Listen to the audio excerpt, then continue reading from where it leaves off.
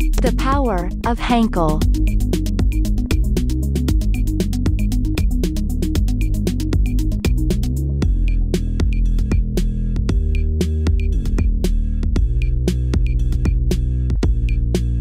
To our new listeners, welcome, and to our returning guests, welcome back. I'm your host, Laura, and happy to be joining you today. Uh, on this episode of The Power of Henkel, we're going to discuss the topic of structural bonding and talk about why adhesives are such an important component of modern product assembly. Rob Dunkel, who is a Henkel senior scientific principal, is a very knowledgeable application engineer who's worked with structural adhesives for over 30 years. And we're happy to have him. Rob, thank you for joining the podcast today and sharing your insights with us. Always good to assist, Laura. Great. So, structural bonding adhesives, I mean, simply as the name implies, I mean, they're materials that join parts or components so that the structure is held together very reliably for its life. Um, and the way I think about them, not being a chemist, is that they're just a, simply a replacement to common mechanical joining components. So instead of like a screw or a clip or something, you would use an adhesive.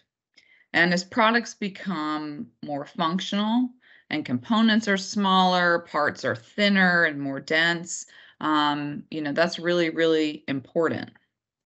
Yeah, you've got it exactly right, Laura. I mean, in the last few years, we've seen a dramatic increase in the use of adhesives as replacements for mechanical bonding. Um, there's a lot of things that go behind this. Uh, size constraints are ones you point out, and there are other factors where adhesives have a distinct advantage, such as weight, adaptability to different surfaces, automation for higher volumes, uh, different regulatory requirements, etc. Yeah, all very, very important things to consider. Um, and when we talk about the industrial and power space specifically, which is where you're focused, um, the primary, um, but it's not only, of course, but certainly most prevalent application for structural bonding adhesives is electric motors. And electric motors are absolutely everywhere in industrial. So you find them in conveyor systems and manufacturing operations, air handling systems, for example anything that uses a pump, um, really any manufacturing line where you're building things and you're moving parts from one station to another, and then you're assembling those parts, um, there'll be electric motors absolutely everywhere throughout the line, correct? You're absolutely right on that. In a manufacturing plant, you're always moving materials eh, or fluids, uh, anything because it's a process. You're taking something in one end, taking out the other. So there's all kinds of applications where you have pumps, which have to be driven by motors. And even if you think about the many, many appliances in your home, which are all manufactured, they have the motors, heating, ventilation, vacuums, lawn equipment, everything has an electric motor in it because you're trying to do something that just makes your life easier by supplying a lot of the mechanical energy, which always pretty much boils down to electric motors. Like everything else, consumers and plant operators always want their products to run reliably, day in, day out, and in many cases, must be lighter just because there's more regulatory in terms of how much people are allowed to uh, carry. But even as a consumer, you know, if the product uh, does what you want and it weighs less, it just makes it a lot easier and less stressful on you. Yeah, it's interesting. I mean, as a consumer, you know, we don't really think about those things. We just we just expect it to work. We don't really think about how all these motors, you know, are driving everything. Um, and the internal workings of an electric motor, um, you know, which works in a circular motion. There's basically, you know, some some core parts, which are the rotor, the stator, the coils, the magnets, and then of course the housing that encompasses all that. So, how and where are bonding adhesives used um, in electric motors, and how are they helping to make them more efficient? Yeah, you're accurate in your description. The basic concept in an electric uh, in an electric motor, the electrical and the mechanical components, they've really been in use for a century. You you can look at historical things and say, boy, those are kind of the similar sort of things. But what's changed is the employment of motors. Designs have continued to push the what I call the holy trinity of manufacturing. You want it lighter, you want it more powerful, and you want it less costly. Um, in the past, there was a lot, you know, there were electric motors, but you know, if they were made out of cast iron, you weren't carrying them around very much. Mm-hmm. Um, lower cost always leads to more applications because it's less costly. You can afford to put it in more things and it drives volumes. You know, if you think about even something as simple as a car, power windows used to be an option. Today, try and find one that doesn't have it. So, you know, there's a bunch of motors that just because the cost has come down, it, it's possible to include things. So, motor employment has risen exponentially over the last couple of decades. And, you know, the one thing we'll say is, you know, I started off as a mechanical engineer, and a mechanical engineer remarkably tries to solve things mechanically is the very first approach. Like, it's like, God, of course I can design something to do it but the big challenge behind that is a process that's simple for a human is often extremely complicated to automate. And designs that use adhesives work in automation better. So it's much easier if you're, you know, it's one thing if you're making one part, but if you suddenly say, I need to make a million parts, suddenly you go, oh my gosh, how am I going to scale that? And that's where adhesives really come in. Right. And really, in the quest for efficiency and lightness, new materials are being introduced as well. Adhesives have no issue with this. You, you bond nylon to magnesium, you bond steel to aluminum, you bond plastic to metal. Um, you kind of go, these are things for an adhesive are nothing. But if when you have mechanical joining, it, it's often a lot more challenging to do it. You know, when old school processes like welding, that was great as long as you're making steel to go to steel. It doesn't really work if you try and weld steel to aluminum. So you know the hidden benefit of adhesives too is you get a very big spread of the load making it possible you can actually make the components lighter because you've spread the load. You don't need as heavy a structure. And that's you know back to what i talked about earlier lighter faster better. And uh, you know if you think about how battery operation is these days you used to laugh at tools that were battery operated. Now you go they're completely the standard. So lower mass really assists. Yeah, those are those are all excellent points, and I think um, you know some people have in their mind, well, a screw or you know some sort of really tough mechanical joining to them just sounds more durable. So I guess the other question when it comes to adhesives is really reliability and longevity. I mean, do they last as long as these other kinds of joining systems? And would you put adhesives in the same class as screws or clips or something in terms of their durability and lifetime? It's that's a great question.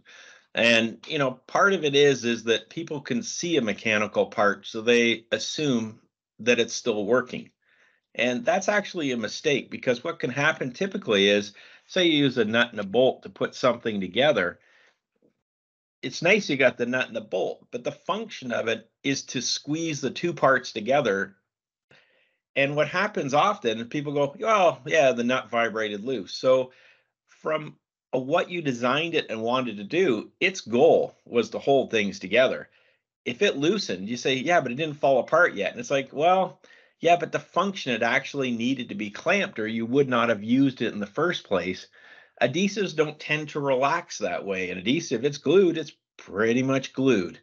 And you know, there's always things people debate either way, but mechanical systems do fail, but you'll just see the parts afterwards. So you go, okay, but it, it doesn't really do what it's needed. So for us in the industry, the biggest challenge we ever had was um, people go through school and adhesive is not typically taught in engineering school designs. There's more of it hmm. coming in now. But you know, when you go in there, they go, well, this is how you weld, this is how you screw things together and you go, hmm, that's not really what's going on. So it depends if the curriculums are catching up as much as needed. You know, to give an example, when you talk about reliability, one of your key points there, when you fly on a new plane that's composite, which is, I'll say, almost any new plane built today, the wings, the fuselage, the control surfaces, they're completely structurally bonded with no mechanical fasteners whatsoever. They do not use rivets, they're gone and you know you think you're traveling at 600 miles an hour extremely high in the sky you are completely in an adhesively bonded structure so but to pull it back because we're talking about electric motors magnet bonding has been a very standard practice for over three decades now and considered much, much more reliable than the mechanical clips that formerly were used to hold the magnets in place. Adhesives, when I talk to the engineers, they say, well, if we bond the magnets in, they are expected to never ever fail. The motor will eventually fail, which is very common if you ever had to replace a furnace motor or other things. The the chances of it being the magnet that caused the failure and that was bonded in, extremely unlikely. So would you say that um, what percentage of magnets are they're all pretty much bonded with adhesives now, or are there still some that use mechanical bonding? Um, with magnets, it's extremely common to use it, but I'll say the the magnet isn't a, a, very critical application, but there's so many motor designs out there. Some use permanent magnets, some use electromagnets, and electromagnet mm. sounds good, but you go essentially that's wire where you've electrically created the magnetic field. So when you scale it back to permanent magnets, it's the standard practice in industry to actually bond them in. And um, with all these things, there's always more increasingly complex designs, and that's why one of the things that uh, you need different types of chemistries. Um, and that's one thing Henkel's extremely strong on. We have a lot of different technologies, so we can figure out what's the best way to do it. Um, and some newer designs, like internal, internal permanent magnets or IPM motors, are more common. And there's different ways you would actually do it to handle the vibration, impact, um, and the other characteristics you need. Yeah, so there's a lot of things to consider. I mean, as you referenced, vibration, noise reduction, I mean, how long this is expected to last. And as you said, the magnets are expected to never fail. So you would assume the adhesives have to do the same. Um, temperature resistance, because these things get super, super hot a lot of times in application. Um, so it's a lot to keep in mind. And so it's not, you know, there's not really when it comes to adhesives, as we know, there's not a one size fits all. So it depends on, as you referenced earlier, the materials that you're bonding together, you know, et cetera, et cetera. So, uh, and, and having worked with Henkel, I mean, that's, you know, really um, the expertise is that there's multiple different chemistries, a lot of different ways you can go, and understanding really in depth the application and what's best for its end use is really the critical expertise that Henkel brings to the table. Absolutely. That's you're very insightful on this is the manufacturing considerations. As I started early on saying, when you mechanically design something, you can design it manually to put it together. But where Henkel's really focused is we work with manufacturers who are making large volumes. And it's a question of how do you make an incredibly large amount of these very repeatably with very low failure and our ability to select the different chemistries that we that exist allow us to really kind of optimize each application it works for one doesn't work for the other there's not one material that can actually do everything there's different things involved in it and then we ask questions like how many are you making because somebody's making 10 i go okay i have one approach if someone's making a thousand i have a different someone says they're making 10 million everything comes into it. So it's not just the product, but it's the process that we look at for it. Right. And we won't get into it here, but it's you know, it's not just necessarily the the bonding piece, but as you know, we talked about earlier, I mean, these in application can get very, very hot. So the other piece of this is all the other materials that might come into play, like thermal control or you know, other types of adhesives that might be used in a motor application. So it, it's it's very comprehensive, um, the offer. Absolutely.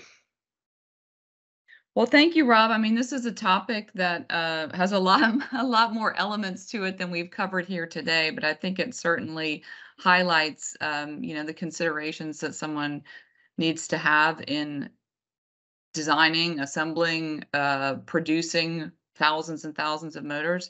And we appreciate your insights and you taking the time to chat with us today. That's been my pleasure. And thanks to all our listeners as well for joining the power of Henkel again. Um, if you want to know more or read about some specific use cases for electric motor solutions, check out Henkel's website you can go to www.henkel-adhesives.com and then go to industrial manufacturing under the industries tab and you'll find a wealth of information there. So check it out and feel free to message Henkel if you have any questions the power of Henkel.